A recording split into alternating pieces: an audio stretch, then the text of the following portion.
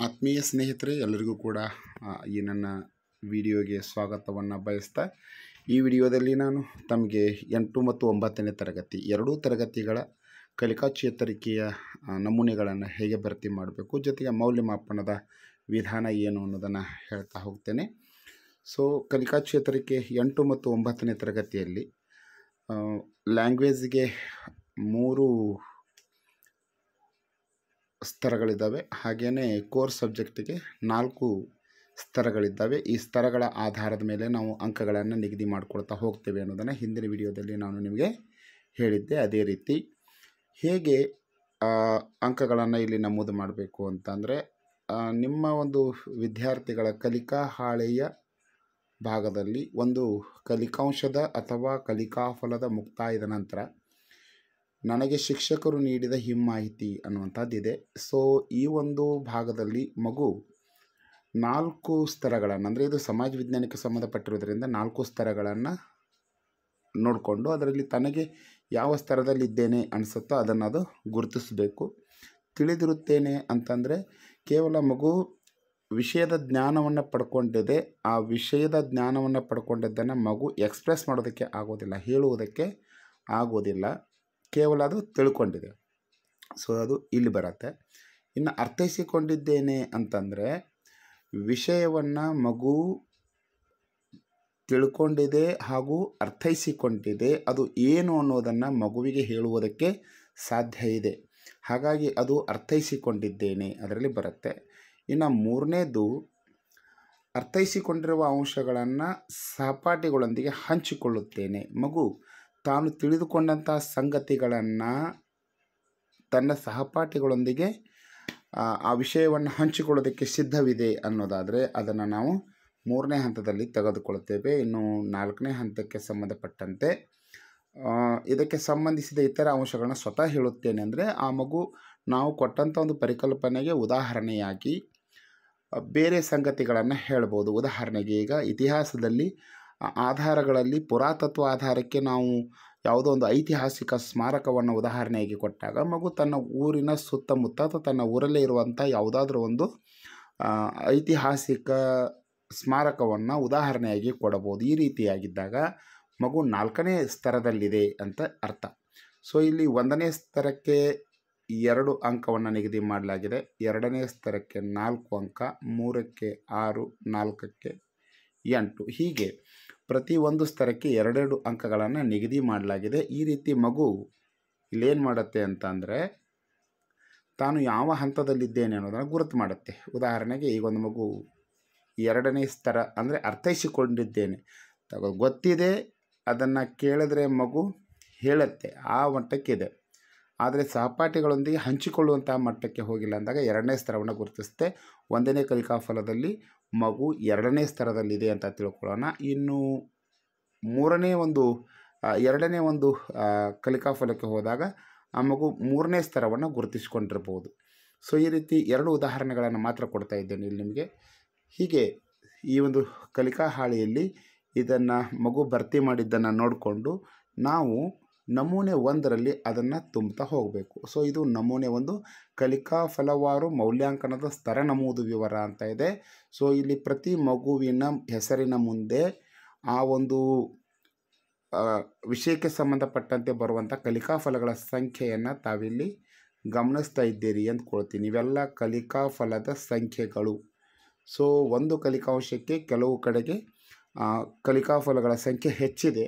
ಅದನ್ನು ನೋಡಿಕೊಂಡು ನೀವು ಅದನ್ನು ಗುರುತು ಮಾಡಿಕೊಳ್ಬೇಕಾಗತ್ತೆ. ಸೊ ಕಲಿಕಾ ಫಲಗಳ ಸಂಖ್ಯೆಯನ್ನು ಇಲ್ಲಿ ನಮೂದು ಮಾಡಿಕೊಂಡಿದ್ದೇನೆ. ಈಗ ಯಾವುದೋ ಒಂದು ಮಗು, ಯಾವುದೋ ಒಂದು ಮಗು ಇಲ್ಲಿ ಅದರ ಹೆಸರನ್ನು ಹಾಕ್ತೀವಿ. ಹೆಸರನ್ನು ಹಾಕಿದ ನಂತರ ಮೊದಲನೇ ಕಲಿಕಾ ಫಲಕ್ಕೆ ಮಗು ಎರಡನೇ ಸ್ತರವನ್ನು ಗುರುತಿಸಿಕೊಂಡಿದ್ದೆ. ಅಂದರೆ ಇಲ್ಲಿ ಎರಡು ಅಂತ ಬರಿತೀನಿ. ಸೊ ಎರಡನೇ ಕಲಿಕಾ ಫಲಕ್ಕೆ ಮಗು ಮೂರಕ್ಕೆ ಗುರುತಿಸಿಕೊಂಡಿತ್ತು. ಹೀಗೆ ಪ್ರತಿಯೊಂದು ಕಲಿಕಾ ಫಲಕ್ಕೂ ಮಗು ಯಾವ ಸ್ತರವನ್ನು ಗುರುತಿಸಿಕೊಂಡಿದೆ ಇಲ್ಲೆಲ್ಲ ಅದನ್ನು ಬರಿತಾ ಹೋಗ್ತೇವೆ. ಇದು ನಮೂನೆ ಒಂದರಲ್ಲಿ. ಸೊ ಇದಾದ ನಂತರ ನಮೂನೆ ಎರಡಕ್ಕೆ ಹೋದಾಗ, ನೋಡಿ, ನಮೂನೆ ಎರಡಕ್ಕೆ ಹೋದಾಗ ಇಲ್ಲಿ ಮಗುವಿನ ಕ್ರಮ ಸಂಖ್ಯೆ ಇದೆ, ಮಗುವಿನ ಹೆಸರಿದೆ. ಎಕ್ಸ್ ವೈ ಜಡ್ ಅಂದ್ಕೊಳ್ಳೋಣ ಮಗುವಿನ ಹೆಸರು. ಇಲ್ಲಿ ಕಲಿಕಾಫಲಗಳ ಸಂಖ್ಯೆ ಅಂತ ಇದೆ. ಎಷ್ಟು ಕಲಿಕಾಫಲವನ್ನು ತೊಗೊಂಡಿವಿ? ಆರು ಆರು ನಾಲ್ಕು ಹೀಗೇನೋ ಒಂದು ಸಂಖ್ಯೆ ಇದೆ ಅಂತ ಅಂದ್ಕೊಳ್ಳೋಣ. ಸೊ ಕಲಿಕಾಫಲವನ್ನು ಎಷ್ಟು ತೊಗೊಂಡಿದ್ದೀವಿ? ಎಫ್ ಎ ಒನ್ಗೆ ಎಷ್ಟು ಕಲಿಕಾಫಲಗಳನ್ನು ತೊಗೊಂಡಿದ್ದೀವಿ ಅಂದರೆ ಇಲ್ಲಿ ಬರಿಬೇಕು. ಸೊ ಅದಾದ ನಂತರ ನಾವು ಹಿಂದೆ ನೋಡಿದ್ವಿ, ಕಲಿಕಾಫಲ ಒಂದಕ್ಕೆ ಮಗು ಗಳಿಸಿದಂಥ ಸ್ತರ ಎರಡು ಅಂತಂದರೆ ಅದಕ್ಕೆ ನಾಲ್ಕು ಅಂಕ. ಇಲ್ಲಿ ಬರಿಬೇಕು. ಎರಡನೇ ಕಲಿಕಾಫಲಕ್ಕೆ ಮಗು ಗಳಿಸಿದಂಥ ಸ್ತರ ಮೂರು ಅಂದರೆ ಆರು ಅಂಕ. ಹೀಗೆ ಪ್ರತಿಯೊಂದು ಕಲಿಕಾ ಸ್ತರಕ್ಕೆ ಆ ಮಗು ತೆಗೆದು ಗುರುತು ಮಾಡಿದ್ದನ್ನು ಇಲ್ಲಿ ಬರಿತಾ ಹೋಗಬೇಕು. ಅದರ ಅಂಕವನ್ನು ಮುಂದೆ ನಮೂದು ಮಾಡ್ತಾ ಹೋಗಬೇಕು. ಸೊ, ಹೀಗೆ ಮಾಡ್ತಾ ಬಂದಾಗ ಅಂತಿಮವಾಗಿ ನಾವು ಇಲ್ಲಿ ಬರ್ತೀವಿ. ಪರಿಗಣಿಸಿದ ಕಲಿಕಾಫಲಗಳು ಅಂತ ಇದೆ. ಸೊ, ಪರಿಗಣಿಸಿದ ಕಲಿಕಾಫಲಗಳು ಆರು. ಪಡೆದ ಒಟ್ಟು ಅಂಕಗಳು. ಈಗ ಉದಾಹರಣೆಗೆ ಒಂದು ಕಲಿಕಾಫಲಕ್ಕೆ ಎಂಟು ಅಂಕಗಳು ಅಂದರೆ ಆರು ಕಲಿಕಾ ಫಲಗಳನ್ನು ತಗೊಂಡಾಗ ಎಂಟಾರಲೆ ನಲವತ್ತೆಂಟಾಯಿತು ನಲವತ್ತೆಂಟು ಅಂಕಗಳು ಅಂತ ಆಯಿತು. ಸೊ ಆ ನಲವತ್ತೆಂಟು ಅಂಕಕ್ಕೆ ಮಗು ಎಷ್ಟು ಅಂಕವನ್ನು ತೆಗೆದುಕೊಂಡಿದೆ ಅಂತಂದರೆ, ಇಲ್ಲಿ ನಲವತ್ತೆಂಟಕ್ಕೆ ನಲವತ್ತ್ಮೂರು ಅಂಕವನ್ನು ತೆಗೆದುಕೊಂಡಾಗ, ಈಗ ನಾವೇನು ಮಾಡಬೇಕಾಗತ್ತೆ? ಲೆಕ್ಕವನ್ನು ಹೇಗೆ ಮಾಡಬೇಕು ಅಂತಂದರೆ, ಅದನ್ನು ಇಲ್ಲಿ ಹದಿನೈದಕ್ಕೆ ಇಳಿಸ್ಕೋಬೇಕಾಗತ್ತೆ. ಮಗು ನಲವತ್ತೆಂಟು ಅಂಕಕ್ಕೆ ನಲವತ್ತ್ಮೂರು ಅಂಕಗಳನ್ನ ತೆಗೆದುಕೊಂಡದನ್ನು ಹದಿನೈದಕ್ಕೆ ಇಳಿಸ್ಕೊಳ್ಬೇಕಾದಾಗ ನಲವತ್ತ ಮೂರು ಡಿವೈಡೆಡ್ ಬೈ ನಲವತ್ತೆಂಟು ಇಂಟು ಹದಿನೈದು ಅಂತ ಮಾಡಬೇಕು ಇದನ್ನು. ಈ ರೀತಿ ಮಾಡಿ ಇಲ್ಲಿ ಬರುವಂತಹ ಅಂಕ ಎಷ್ಟಿದೆ ಅಥವಾ ಶೇಕಡಾ ಪ್ರಮಾಣ ಎಷ್ಟಿದೆ ಅದನ್ನು ಇಲ್ಲಿ ಹಾಕಬೇಕು. ನಾನು ಸುಮಾರು ಅಂದಾಜು ಒಂದು ಹದಿನಾಲ್ಕು ಅಂತ ಅಂದ್ಕೋತೀನಿ. ಸೊ, ಇದು ಹದಿನಾಲ್ಕಕ್ಕೆ ಹಾಕ್ಕೊಳ್ತೀವಿ ಇಲ್ಲಿ ಗ್ರೇಡು ಎ ಇದೆ. ಇದು ರೂಪನಾತ್ಮಕ ಮೌಲ್ಯಮಾಪನ ಒಂದರಲ್ಲಿ ಹದಿನೈದು ಅಂಕಕ್ಕೆ ಈ ರೀತಿ ನಾವು ಗ್ರೇಡನ್ನು ಹಾಕ್ಕೊಳ್ತೀವಿ ಅದೇ ರೀತಿ ರೂಪನಾತ್ಮಕ ಮೌಲ್ಯಮಾಪನ ಎರಡರ ಅಂಕಗಳನ್ನು ಇಲ್ಲಿ ನಮೂದು ಮಾಡ್ತಾ ಹೋಗ್ತೀವಿ. ಮೂರರದ್ದು ಇಲ್ಲಿ ಮಾಡ್ತಾ ಹೋಗ್ತೇವೆ. ನಾಲ್ಕರದನ್ನು ಇಲ್ಲಿ ನಮೂದು ಮಾಡ್ತಾ ಹೋಗ್ತೇವೆ. ಈ ರೀತಿ ನಮೂದು ಮಾಡಿದ ನಂತರ ಇಲ್ಲಿ ಬಂದಂತಹ ಶೇಕಡಾ ಪ್ರಮಾಣ, ಈ ಭಾಗದಲ್ಲಿ ಶೇಕಡಾ ಪ್ರಮಾಣ ಬರೆದಿದ್ವಿ ಆಗಲೇ ಆಮೇಲೆ ಇಲ್ಲಿ ಗ್ರೇಡನ್ನು ಹಾಕಿದ್ವಿ. ಎ ಅಂತ ಏನೋ ಹಾಕಿದ್ವಿ. ಸೊ ಶೇಕಡಾ ಪ್ರಮಾಣ ಮತ್ತು ಗ್ರೇಡನ್ನು ನಾನು ಮುಂದಿನ ನಮೂನೆಗೆ, ಅಂದರೆ ಮೂರನೇ ನಮೂನೆಗೆ ತೆಗೆದುಕೊಳ್ಳಬೇಕು. ಇದು ಮೂರನೇ ನಮೂನೆ. ಇಲ್ಲಿ ಅದೇ ವಿದ್ಯಾರ್ಥಿಯ ಹೆಸರಿರುತ್ತೆ, ಹೆಸರನ್ನು ಬರೀತಾರೆ. ಇಲ್ಲಿ ರೂಪನಾತ್ಮಕ ಮೌಲ್ಯಮಾಪನ ಒಂದು ಅಂದಾಗ, ಅಂಕ ಅಂದರೆ ಅಲ್ಲಿ ಶೇಕಡ ಪ್ರಮಾಣ ಏನಿತ್ತು, ಅದು ಅಂಕ ಆಗತ್ತೆ. ಹದಿನಾಲ್ಕು ಅಂಕ, ಇದಕ್ಕೆ ಗ್ರೇಡ್, ಎ ಗ್ರೇಡ್. ಸೊ, ರೂಪನಾತ್ಮಕ ಮೌಲ್ಯಮಾಪನಕ್ಕೆ ಹದಿಮೂರು ಅಂಕ ತೆಗೆದುಕೊಂಡಿದೆ ಅಂದ್ಕೊಳ್ಳೋಣ. ಇದಕ್ಕೆ ಮತ್ತೆ ಎ ಗ್ರೇಡ್. ಇದಾದ ನಂತರ ಈಗಾಗಲೇ ಸಂಕಲನಾತ್ಮಕ ಮೌಲ್ಯಮಾಪನ ಮುಗಿದಿದೆ ಎಂಟನೇ ತರಗತಿಗೆ. ಮೂವತ್ತು ಅಂಕಗಳ ಪರೀಕ್ಷೆ ಹಾಗೂ ಹತ್ತು ಲಿಖ್, ಮೌಖಿಕ ಅಂಕಗಳಿಗಾಗಿ ನಾವು ಪರೀಕ್ಷೆಯನ್ನು ಈಗಾಗಲೇ ಮಾಡಿದ್ದೇವೆ. ಲಿಖಿತ ಮೂವತ್ತಕ್ಕೆ ಒಂದು ಇಪ್ಪತ್ತ ಐದು ಅಂಕಗಳನ್ನು ತೆಗೆದುಕೊಂಡಿದೆ ಅಂತ ತಿಳ್ಕೊಳ್ಳೋಣ. ಮೌಖಿಕದಲ್ಲಿ ಒಂದು ಎಂಟು ಅಂಕವನ್ನು ತೆಗೆದುಕೊಂಡಿದೆ. ಎಂಟು ಇಪ್ಪತ್ತೈದು ಮೂವತ್ತ ಮೂರಾಯಿತು. ಇಲ್ಲಿ ಮೂವತ್ತ್ಮೂರನ್ನು ಬರಿತೀವಿ. ಸೊ ಈ ಮೂವತ್ತ್ಮೂರನ್ನು ಇಪ್ಪತ್ತಕ್ಕೆ ಇಳಿಸ್ಕೋಬೇಕೀಗ ಸೊ ಅಲ್ಲಿಗೆ ಮೂವತ್ತ್ಮೂರು ಡಿವೈಡೆಡ್ ಬೈ ನಲವತ್ತು ಇಂಟು ಇಪ್ಪತ್ತು ಮಾಡ್ಕೊಳ್ಬೇಕು. ಅದರ ಪರ್ಸೆಂಟೇಜ್ ಎಷ್ಟು ಬರುತ್ತೋ ಅದನ್ನ ಇಲ್ಲಿ ಇಟ್ಕೊಳ್ಳೋಣ. ಉದಾಹರಣೆಗೆ ಇಪ್ಪತ್ತಕ್ಕೆ ತೆಗೆದುಕೊಂಡಾಗ ಅದೊಂದು ಹದಿನೆಂಟು, ಹದಿನೇಳು ಆಗುತ್ತೆ ಅಂತ ಅಂದ್ಕೊಳ್ಳೋಣ. ಸೊ ಇಲ್ಲಿ ಹದಿನಾಲ್ಕಿದೆ. ಇಲ್ಲಿ ಹದಿಮೂರಿದೆ ಇಪ್ಪತ್ತೇಳು ಇಪ್ಪತ್ತೇಳು, ಹದಿನೇಳು. ಇಪ್ಪತ್ತೇಳು, ಹದಿನೇಳು ಅಂದರೆ ಮೂವತ್ತ್ನಾಲ್ಕು, ನಲವತ್ತ್ನಾಲ್ಕು ಅಂಕ ಆಯಿತು. ಸೊ ಇಲ್ಲಿ ಹದಿನೇಳು ಅಂಕದ ಶ್ರೇಣಿಯನ್ನು ಹಾಕ್ಕೊಳ್ಬೇಕು ಆಮೇಲೆ ಮಗು ಯಾವ ಲೆವೆಲನ್ನ ಅಂದರೆ ಒಂದನೇ ಲೆವೆಲ ಎರಡನೇ ಲೆವೆಲ್ ಯಾವ ಲೆವೆಲ್ ಪ್ರಶ್ನೆ ಪತ್ರಿಕೆಗೆ ಉತ್ತರಿಸಿದೆ ಅನ್ನೋದನ್ನು ಇಲ್ಲಿ ಮಾರ್ಕ್ ಮಾಡ್ಕೊಳ್ತೀವಿ. ಒಂದು ಅಥವಾ ಎರಡು ಅಂಥೇಳಿ. ಆಮೇಲೆ ಇದು ರೂಪನಾತ್ಮಕ ಮೌಲ್ಯಮಾಪನ. ಒಂದು ರೂಪನಾತ್ಮಕ ಮೌಲ್ಯಮಾಪನ ರೂಪನಾತ್ಮಕ ಮೌಲ್ಯಮಾಪನ ಒಂದು, ರೂಪನಾತ್ಮಕ ಮೌಲ್ಯಮಾಪನ ಎರಡು ಮತ್ತು ಸಂಕಲನಾತ್ಮಕ. ಇದೆಲ್ಲವನ್ನು ಸೇರಿಸಿ ಐವತ್ತಕ್ಕೆ ಇಲ್ಲಿ ಬರಿಬೇಕಾಗತ್ತೆ. ಈ ಭಾಗದಲ್ಲಿ. ಸೊ ಐವತ್ತಕ್ಕೆ ಬರಿಬೇಕಾದಾಗ ನಾವು ಆಗಲೇ ನೋಡಿದಂಗೆ ಹದಿನಾಲ್ಕು ಪ್ಲಸ್ ಹದಿಮೂರು, ಇಪ್ಪತ್ತೇಳು ಇಪ್ಪತ್ತೇಳು, ಮೂವತ್ತೇಳು ನಲವತ್ತ್ನಾಲ್ಕು ಅಂಕಗಳು. ಐವತ್ತಕ್ಕೆ ನಲವತ್ತ್ನಾಲ್ಕು ಅಂಕಗಳು. ಸೊ ನಲವತ್ತ್ನಾಲ್ಕಕ್ಕೆ ಏನು ಗ್ರೇಡ್ ಇದೆ ಅಂತಂದರೆ, ಎ ಗ್ರೇಡ್ ಬರುತ್ತೆ. ಆ ಗ್ರೇಡನ್ನು ಇಲ್ಲಿ ಹಾಕ್ಕೊಳ್ತೀನಿ ಅಲ್ಲಿಗೆ ಸಂಕಲನಾತ್ಮಕ ಮಧ್ಯವರ್ಷಿಕದವರೆಗೆ ಏನಿತ್ತು ಅದು ಮುಗೀತು. ಅದೇ ರೀತಿ ಮುಂದುವರೆದು ಇಲ್ಲಿ ಎರಡನೇ ಸೆಮಿಸ್ಟರ್ನಲ್ಲಿ ಮತ್ತೆ ರೂಪನಾತ್ಮಕ ಮೌಲ್ಯಮಾಪನ ಮೂರು, ನಾಲ್ಕನ್ನು ಮಾಡ್ಕೊಳ್ತೀವಿ. ಸಂಕಲನಾತ್ಮಕ ಮೌಲ್ಯಮಾಪನ ಎರಡನ್ನು ಮಾಡ್ಕೊಳ್ತೀವಿ. ಇದರ ಒಟ್ಟು ಅಂದರೆ ಇವು ಮೂರು ಸೇರಿ ಒಟ್ಟನ್ನು ಇಲ್ಲಿ ಐವತ್ತು ಅಂಕಕ್ಕೆ ಎಷ್ಟಾಯಿತು ಅದರ ಶ್ರೇಣಿಯನ್ನು ಹಾಕ್ಕೊಳ್ತೀವಿ ಅದಾದ ನಂತರ ಇಲ್ಲಿ ಅಂತೂ ಒಟ್ಟದಲ್ಲಿ ಒಂದನೇ ಸೆಮಿಸ್ಟರ್ನಲ್ಲಿ ಬಂದಂತಹ ಒಟ್ಟು ಅಂಕ ಐವತ್ತಕ್ಕೆಷ್ಟಿತ್ತು ಮತ್ತು ಇಲ್ಲಿ ಬಂದಿರುವಂತಹ ಐವತ್ತರ ಅಂಕ ಇದೆರಡನ್ನು ಸೇರಿಸಿ ಇಲ್ಲಿ ನಾನು ಹಾಕ್ಕೊಳ್ಬೇಕು ಇದರ ಶ್ರೇಣಿಯನ್ನು ಹಾಕ್ಕೊಳ್ಬೇಕು ಶರ ಇದ್ದಲ್ಲಿ ನೀವು ಫಲಿತಾಂಶವನ್ನು ಬರ್ಕೊಳ್ಬೋದು. ಸೊ ಈ ರೀತಿ ಎಂಟನೇ ತರಗತಿಯ ಮೌಲ್ಯಮಾಪನವನ್ನು ಮಾಡಿಕೊಂಡ ನಂತರ ಇದನ್ನು ಕ್ರೋಢೀಕೃತ ಅಂಕವಹಿಗೆ ದಾಖಲು ಮಾಡಬೇಕಾಗತ್ತೆ. ಇದು ಎಂಟನೇ ತರಗತಿಗೆ ಸಂಬಂಧಪಟ್ಟಂತೆ. ಇನ್ನು ಒಂಬತ್ತನೇ ತರಗತಿಗೆ ಸಂಬಂಧಪಟ್ಟಂತೆ ಅಲ್ಲಿಯೂ ಕೂಡ ಸ್ತರವನ್ನು ನಿಗದಿ ಮಾಡಿಕೊಳ್ಳೋದು ಈಗ ಹಿಂದೆ ಏನು ಹೇಳಿದ್ದೆ, ಅದೇ ರೀತಿಯಾಗಿದೆ. ಆದರೆ ಇಲ್ಲಿ ಕೆಲವೊಂದಿಷ್ಟು ಬದಲಾವಣೆಗಳಿವೆ.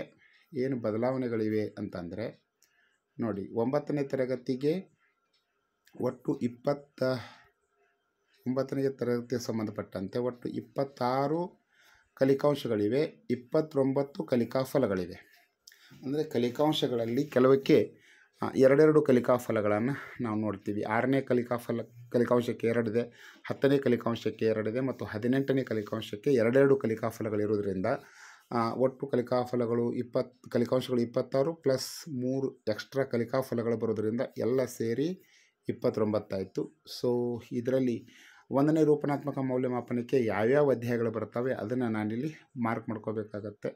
ಫಾರ್ ಎಕ್ಸಾಂಪಲ್ ಒಬ್ಬ ಹುಡುಗ ಇದ್ದಾನೆ ಅಂದ್ಕೊಳ್ಳೋಣ. ಇಲ್ಲಿ ಆತ ಒಂದನೇ ಕಲಿಕಾ ಫಲಕ್ಕೆ ಗುರುತಿಸಿಕೊಂಡಿರೋದು ಎರಡು ಅಂಕ ಎರಡನೇದಕ್ಕೆ ಮೂರು, ಮೂರನೇದಕ್ಕೆ ನಾಲ್ಕು, ಹೀಗೆ ನಾಲ್ಕನೇದಕ್ಕೆ ಎರಡು, ಒಂದು, ಈ ರೀತಿ ಗುರುತಿಸಿಕೊಂಡಿದ್ದಾನೆ. ಅಂದ್ಕೊಳ್ಳೋಣ ಫಾರ್ ಎಕ್ಸಾಂಪಲ್ ಒಂದು ಎರಡನ್ನು ಮಾತ್ರ ಇಲ್ಲಿ ನಾವು ತೆಗೆದುಕೊಳ್ಳೋಣ. ಸೊ ಎರಡಿದೆ, ಮೂರಿದೆ, ಇದು ನಾಲ್ಕಿದೆ. ಸೊ ಈ ರೀತಿ ಅಂಕಗಳನ್ನು ಸ್ಥಳಗಳನ್ನು ಆತ ನಿಗದಿ ಮಾಡಿಕೊಂಡಿದ್ದಾನೆ. ಅವುಗಳನ್ನು ಇಲ್ಲಿ ನಾವು ನಮೂದು ಮಾಡಬೇಕು. ನಮೂನೆ ಒಂದರಲ್ಲಿ, ಇದು ಒಂಬತ್ತನೇ ತರಗತಿಗಾಗಿ. ಇದಾದ ನಂತರ ಒಂಬತ್ತನೇ ತರಗತಿಯ ನಮೂನೆ ಒಂದು ಏನಲ್ಲಿ ಏನು ತುಂಬಬೇಕು ಅಂತಂದರೆ, ಇಲ್ಲಿ ಮಗುವಿನ ಹೆಸರನ್ನು ಬರಿತೀವಿ. ಎಫ್ ಎ ಪರೀಕ್ಷೆಗಳು ಅಂದರೆ ಇದು ಒಂದನೇ ಎಫ್ ಎ ಪರೀಕ್ಷೆ.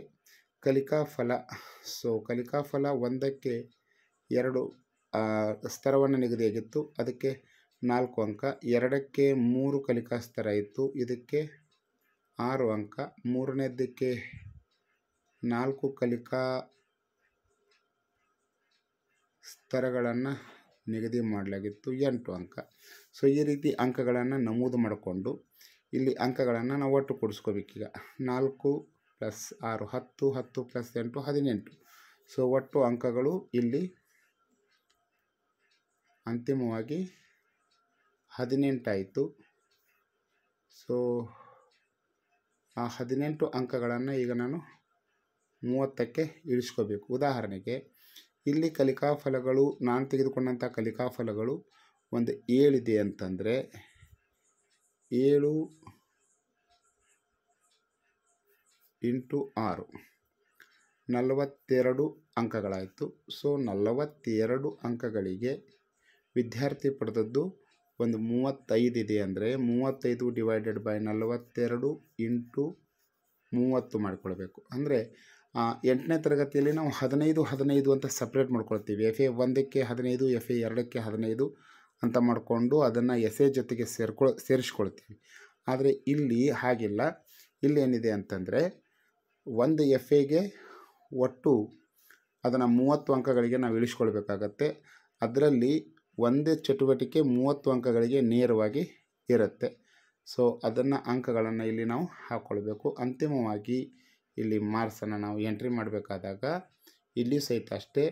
ಸೊ ರೂಪನಾತ್ಮಕ ಮೌಲ್ಯಮಾಪನ ಒಂದಕ್ಕೆ ಪಡೆದಂತಹ ಅಂಕಗಳು. ಅಂದರೆ ಇಪ್ಪತ್ತು ಏನು ಆಂತರಿಕ ಮೌಲ್ಯಮಾಪನದ ಅಂಕಗಳಿದೆ. ಅದು ಆಮೇಲೆ ಇಪ್ಪತ್ತು ಮಾರ್ಕ್ಸಿಗೆ ಒಂದು ರಿಟರ್ನ್ ಟೆಸ್ಟನ್ನು ತೊಗೋತೀವಿ. ಮೂವತ್ತು ಅಂಕಗಳಿಗೆ ಒಂದು ಆ್ಯಕ್ಟಿವಿಟಿಗಳ ಏನಿದ್ದಾವೆ ಅಂದರೆ ಕಲಿಕಾಸ್ತರ ಆಧಾರಿತ ಮೌಲ್ಯಮಾಪನವನ್ನು ಮಾಡ್ತೇವೆ.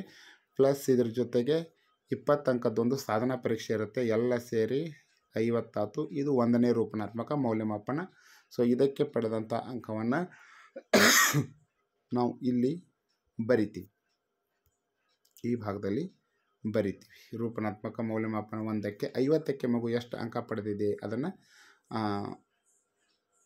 ಐವತ್ತಕ್ಕೆ ಐವತ್ತು ಪಡೆದಿದ್ದರೆ ಐದು ಅಂತ ಬರಿತೀವಿ. ಅಕಸ್ಮಾತ್ ಅದು ನಲವತ್ತ ಎರಡು ಅಂಕ ಪಡೆದಿದ್ದರೆ ನಾಲ್ಕು ಪಾಯಿಂಟ್ ಎರಡು ಅಂತ ಬರಿತೀವಿ.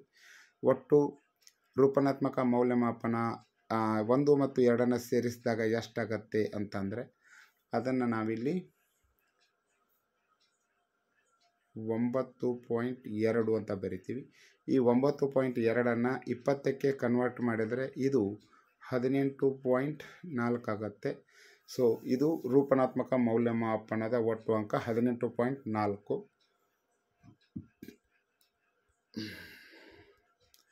ಸೊ ಈ ಹದಿನೆಂಟು ಪಾಯಿಂಟ್ ನಾಲ್ಕಕ್ಕೆ ಈಗ ಸಂಕಲನಾತ್ಮಕ ಮೌಲ್ಯಮಾಪನ ಎಂಬತ್ತು ಅಂಕಕ್ಕೆ ಒಂದು ಪರೀಕ್ಷೆಯನ್ನು ಮಾಡಿದ್ದೀವಿ. ಇದಕ್ಕೆ ಪಡೆದಂಥ ಅಂಕ ಒಂದು ಐವತ್ತಿದೆ ಅಂದುಕೊಳ್ಳೋಣ. ಈ ಐವತ್ತು ಪ್ಲಸ್ ಹದಿನೆಂಟು ಇದೆರಡನ್ನು ಸೇರಿಸಿ ನೂರಕ್ಕೆ ಅರವತ್ತೆಂಟು ಪಾಯಿಂಟ್ ನಾಲ್ಕಾಯಿತು. ಸೊ ಶೇಕಡಾ ಪ್ರಮಾಣವು ಕೂಡ ಅರವತ್ತೆಂಟು ಪಾಯಿಂಟ್ ನಾಲ್ಕೇ ಆಗುತ್ತೆ. ಸೊ ಇದರ ಗ್ರೇಡ್ ಬಂದುಬಿಟ್ಟು ಬಿ ಪ್ಲಸ್ ಆಗುತ್ತೆ. ಈ ರೀತಿ ಒಂದನೇ ಸಂಕಲನಾತ್ಮಕ ಮೌಲ್ಯಮಾಪನದ ಒಟ್ಟು ಅಂಕವನ್ನು ನಾವಿಲ್ಲಿ ನಮೂದು ಮಾಡಬೇಕಾಗತ್ತೆ. ಅದೇ ರೀತಿ ಮುಂದುವರೆದು ನಾವು ಸಂಕಲನಾತ್ಮಕ ಮೌಲ್ಯಮಾಪನ ಎರಡನ್ನು ಇಲ್ಲಿ ಮಾಡ್ತಾ ಹೋಗ್ತೇವೆ. ಈ ರೀತಿ ಎಂಟು ಮತ್ತು ಒಂಬತ್ತನೇ ತರಗತಿಯ ಅಂಕಗಳನ್ನು ನಮೂದು ಮಾಡಿ ಅಂತಿಮವಾಗಿ ನಾವು ಫಲಿತಾಂಶವನ್ನು ಪಡೆಯಬೇಕಾಗಿರುತ್ತೆ ಸ್ನೇಹಿತರೆ.